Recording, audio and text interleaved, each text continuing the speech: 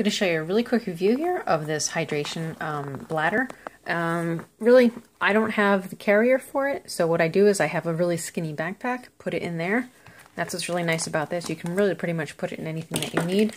Really good for um, even if you're going to like a sporting event and you need to stay hydrated, please put correct things in. Beer in this is not going to be good. The whole bubbles, you don't want to put anything with carbonation in here. It will totally ruin it. Uh, I'm showing it to you hanging up right now uh, just so that way I don't have to hold it. But obviously here's the top. I'll show you how it opens in a second. You have a really nice, go close in here, um, the tube. Obviously it's coated so that way it won't kink up and you won't actually puncture it. It's very thick anyway. Here is the mouthpiece. What you're going to do simply is you're simply going to put it in your mouth and kind of pull up on it. You can see how it moves a little bit right here. Let's see if I can focus in on that one a little bit more for you. Right here, maybe, there we go. Uh, down is off and out means that you're going to be able to flow. It's rubber here, it's silicone, it's squishy, it has the mouthpiece. Easy to clean, very simple. It has the, uh, the cover for it. Not as easy to do with one hand, but you can get it on there.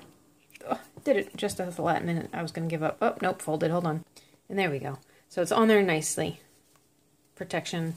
Now, the top piece here, you're going to simply pull it. As you can see here, the left side has an arrow to open it, and the right side has an arrow to close it. So you're just simply going to slide it. You just simply slide it to the left to get it to open. Then you're going to unfold it and right here, and you can see the white line here, that's pretty much like the fill line. You don't want to go past that. So it has enough room that you're going to keep it closed. It's going to keep it pinched, and you just simply slide your piece back on. Very easy to clean. Opens up, as you saw, opens up really pretty wide, so you can get a bottle brush in there and scrub it nicely.